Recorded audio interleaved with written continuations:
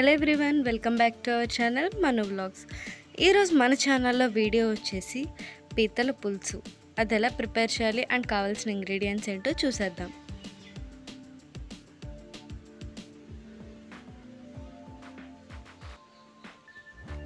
Ingredients వచ్చేసి అల్లం వెల్లుల్లి జీలకర్ర ధనియాలు. వీటిలన్నిటిని మెత్తగా మిక్సీ జార్లో వేసుకుని పేస్ట్ చేసుకోవాలి. చూసారు కదా ఇలా పేస్ట్ చేసుకోవాలి. నెక్స్ట్ వచ్చేసి త్రీ ఆనియన్స్ పెద్ద సైజ్ ఆనియన్స్ అయితే రెండు సరిపోతుంది. మీడియం సైజ్ కాబట్టి నేను ఒక త్రీ తీసుకున్నాను. వీటిని కూడా ఒక మిక్సీ జార్లో వేసుకుని మెత్తగా గ్రైండ్ చేసుకోవాలి.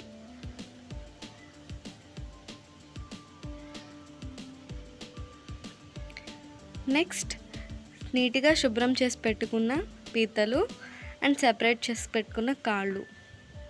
కొత్తిమీర పది పదిహేను వరకు తీసుకోవాలి చిల్లీస్.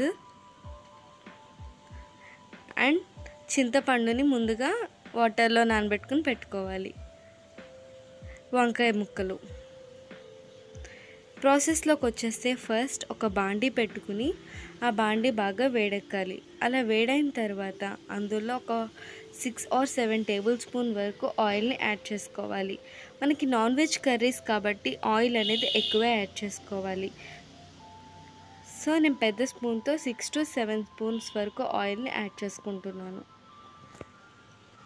మనకు ఆయిల్ అనేది బాగా హీట్ అయిన తర్వాత ఇందాక కట్ చేసి పెట్టుకున్న చిల్లీస్ని ఇందులో ఫస్ట్ వేసుకోవాలి. వేసుకోగానే మనకి చిటపటలాడుతుంది. సో జాగ్రత్తగా ఉండి వేసుకుంటే మంచిది. చూసారు కదా నేను ఒక సిక్స్ చిల్లీస్ వరకు సన్నగా తరుక్కుని ఇలా వేసుకున్నాను. ఇలా ఫస్ట్ మనం చిల్లీస్ వేసుకోవడం వల్ల చాలా ఫ్లేవరబుల్గా ఉంటుంది కర్రీ. చూసారు కదా నెక్స్ట్ ఇలా చిల్లీస్ ఫ్రై అయిన తర్వాత ఆనియన్ పేస్ట్ని ఇందులో యాడ్ చేసుకోవాలి. ఆనియన్స్ అనేది పచ్చివాసన పోయేంత వరకు ఫ్రై చేసుకోవాలి. ఈ టైంలో మీరు సాల్ట్ వేసుకున్నట్లయితే ఆనియన్స్ కూడా చాలా బాగా ఫ్రై అవుతాయి. అండ్ పచ్చివాసన కూడా ఉండదు. ఈ ఆనియన్ పేస్ట్ అనేది మనకు ఒక ఫిఫ్టీ పర్సెంట్ కుక్ అయిన తర్వాత మనం ఆల్రెడీ మసాలా చేసి పెట్టుకున్నాం కదా ఆ మసాలాని ఇందులో యాడ్ చేసుకుని ఫుల్గా మంచి వాసన వచ్చేంత వరకు ఫ్రై చేసుకోవాలి. ఈ మసాలా ఉండడం వల్ల మనకి పీతల పులుసు ఇటువంటివి అనేవి చాలా బాగుంటాయి. నేను ఆల్రెడీ మన ఛానల్లో ఫిష్ పులుసు అనేది పెట్టున్నాను. సేమ్ మసాలాతో చేసుకోవచ్చు చాలా బాగుంటుంది. అది కూడా ఒకసారి మీరు చూడండి. లింక్స్ అనేవి నేను డిస్క్రిప్షన్లో ఇస్తాను అండ్ లాస్ట్లో ప్లే బటన్స్ కూడా వేస్తాను. సో ఖచ్చితంగా మిస్ అవ్వకుండా చూడండి. మనం నాన్ వెజ్ కర్రీలో మెయిన్గా గుర్తుంచుకోవాల్సింది ఆయిల్. మనకి ఆయిల్ అనేది మస్ట్ అండ్ షుడ్గా ఉండాలి. చాలా ఎక్కువ కూడా కర్రీస్లో ఆయిల్ అనేది పడుతుంది. మీరు అబ్జర్వ్ చేసినట్లయితే నేను first six to seven spoons oil వేసాను. ఈ ఆనియన్ పేస్ట్ ఈ మసాలా పేస్ట్ వేసిన వెంటనే ఆయిల్ అనేది బాగా ఇంకిపోయింది. సో నేను తర్వాత కూడా ఒక టూ టేబుల్ స్పూన్స్ ఆయిల్ వేసుకున్నాను. ఈ మసాలా అనేది ఒక సెవెంటీ పర్సెంట్ కుక్ అయిన తర్వాత మనం మళ్ళీ ఒక చిన్నగా పచ్చిమిరపకాయని వేసుకోవాలి ఇందులో. ఇలా వేసుకున్నట్లయితే పచ్చిమిరపకాయ గట్టిగా వండకుండా మెత్తగా అయ్యి వాటిలో ఉన్న స్పైసెస్ అన్నీ మనకి కర్రీలోకి వస్తుంది. చూసారు కదా ఇలా ఫ్రై అయిన తర్వాత చూసారు కదా మనకి మా వేసుకున్న పేస్ట్లని ఎంత బాగా ఫ్రై అయ్యో ఇలా హండ్రెడ్ పర్సెంట్ కుక్ అయిపోవాలి. ఇలా కుక్ అయిన తర్వాత మనం నీట్గా శుభ్రం చేసి పెట్టుకున్న పీత ముక్కల్ని ఇందులో యాడ్ చేసుకోవాలి. సో నేను ఫస్ట్ అయితే కాళ్ళని యాడ్ చేసుకున్నాను. మ్యాక్సిమం అందరూ కాళ్ళని వీటిని సెపరేట్ చేయకుండా ఉంచుతారు. సో అలా కాకుండా ఇలా సెపరేట్ చేసినట్లయితే బాగా టేస్ట్ అనేది బాగుంటుంది. సో నేను ఇలా సెపరేట్ చేసుకుని వేసుకున్నాను.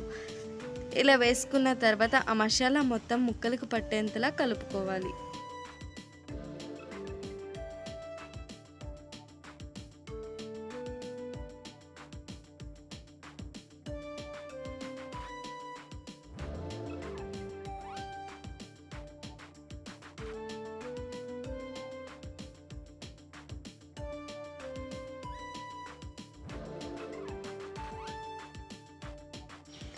ఇలా మొత్తం మసాలా ముక్కలకు పట్టిన తర్వాత నేను ఆల్రెడీ చూపించాను కదా వంకాయ ముక్కల్ని ఇందులో ఈ టైంలో యాడ్ చేసుకోవాలి. మనకి పీతల పులుసులో వంకాయ అంటే చాలా బాగుంటుంది.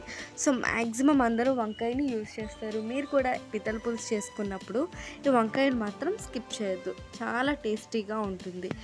సో ఇలా వేసుకున్న తర్వాత మొత్తం వంకాయకి కూడా పట్టేలా మిక్స్ చేసుకోవాలి.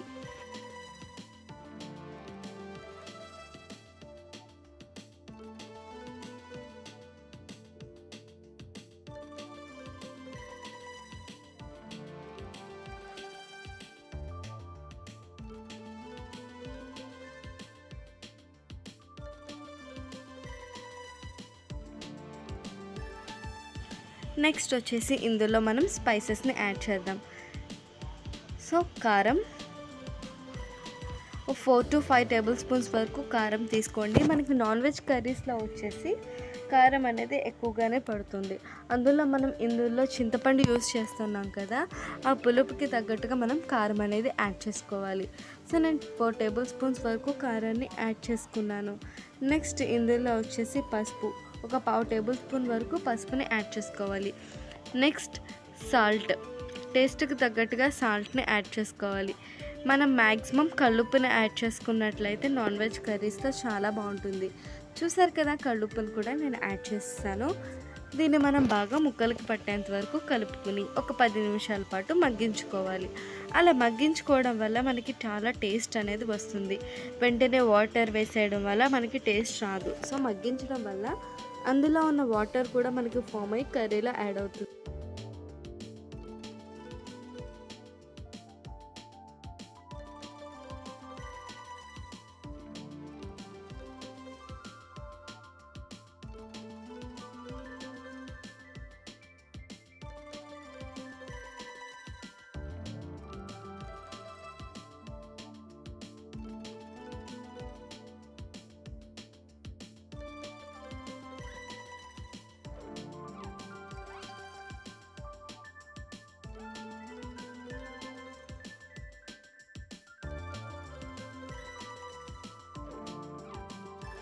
సో ఇలా అంతా మగ్గిన తర్వాత ఒక హాఫ్ గ్లాస్ వాటర్ని ఇందులో యాడ్ చేసుకోవాలి. హాఫ్ గ్లాస్ సరిపోతుంది ఎక్కువైతే అక్కర్లేదు.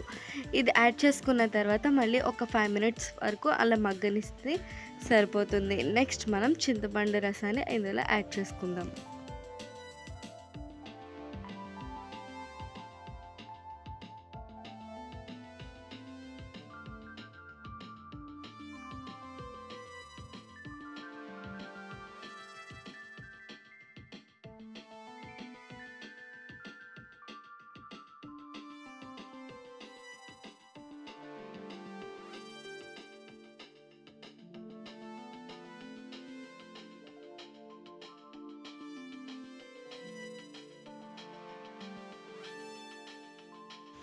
ఆఫ్టర్ టెన్ మినిట్స్ ఇలా మనం కొత్తిమీరని యాడ్ చేసుకోవాలి. మీరు అక్కడక్కడ చూసినట్లయితే కొంచెం బబుల్స్ కూడా ఫామ్ అవుతున్నాయి. పీత కూడా ఒక ఫిఫ్టీ పర్సెంట్ వరకు కుక్ అయినట్టు తెలుస్తుంది. నెక్స్ట్ ఇందులో చింతపండు గుజ్జుని యాడ్ చేసుకోవాలి. నేను మనం ఆల్రెడీ ముందుగా నానబెట్టుకున్నాం కదా దాన్ని మొత్తం చింతపండు రాకుండా ఓన్లీ వాటర్ని వచ్చేలాగా మొత్తం బాగా స్మాష్ చేసుకుని వేసుకోవాలన్నమాట. సో అలా అయితేనే టేస్ట్ ఉంటుంది. చింతపండు పలంగా వేసేసినట్లయితే కర్రీ అనేది అసలు టేస్ట్ ఉండదు. దీన్ని మీరు ఒక మీడియం ఫ్లేమ్లో పెట్టుకుని ఒక ఫిఫ్టీన్ మినిట్స్ పాటు మీడియం ఫ్లేమ్లో ఉడకనివ్వాలి. ఆ తర్వాత స్టవ్ని సిమ్లోకి పెట్టేసుకుని ఒక ten minutes or fifteen minutes పాటు ఉడకనిస్తే కర్రీ అనేది చాలా టేస్టీగా వస్తుంది.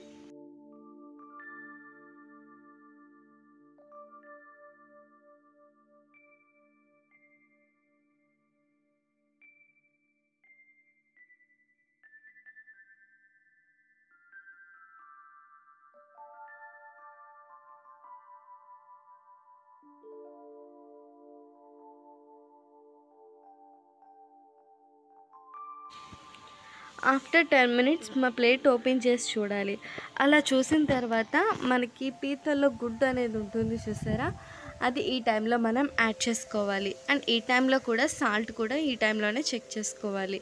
అది యాడ్ చేసుకున్న తర్వాత అసలు కదపకుండా కాసేపు ఉంచేసి చిల్లీస్ని యాడ్ చేసుకోవాలి. మనం పీతల పులుసులో కానీ చేపల పులుసులో కానీ పచ్చిమిరపకాయల వల్ల చాలా టేస్ట్ ఉంటుంది.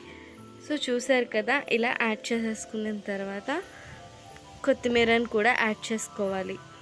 కొత్తిమీర కూడా యాడ్ చేసేసుకుని మూత పెట్టేసి ఇందాక చెప్పిన టైమింగ్ ప్రకారం మనం కర్రీని అయితే మగ్గనిచ్చినట్లయితే చాలా బాగుంటుంది.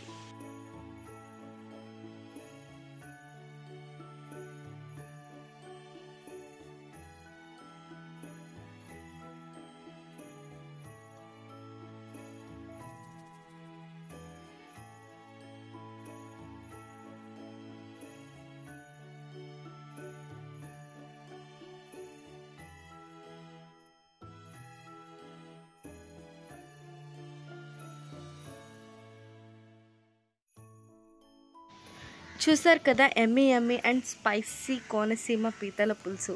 ఎలా వచ్చింది అనేది కూడా మీరు ట్రై చేసి నాకు కామెంట్ సెక్షన్లో కామెంట్ చేసేయండి. ఐ హోప్ మీకు ఈ వీడియో నచ్చే ఉందనుకుంటున్నాను. ఒకవేళ నచ్చితే లైక్ చేయండి షేర్ చేయండి.